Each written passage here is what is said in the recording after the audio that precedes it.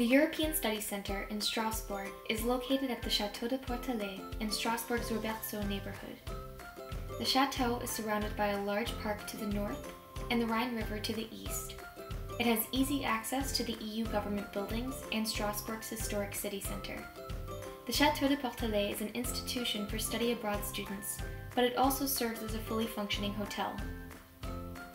On the ground floor, there are common event spaces, the Chateau Library, and the breakfast room where buffet breakfast is served every day and included in your program fee.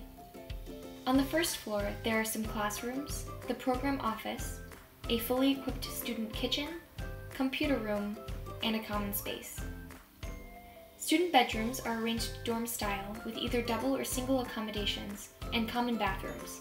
They're located on the first, second, and third floors. We hope that you make Strasbourg your home for study abroad and look forward to seeing you at our European Study Center. Like our videos and want to learn more? You can visit our YouTube channel and our website for more information on study centers and programs.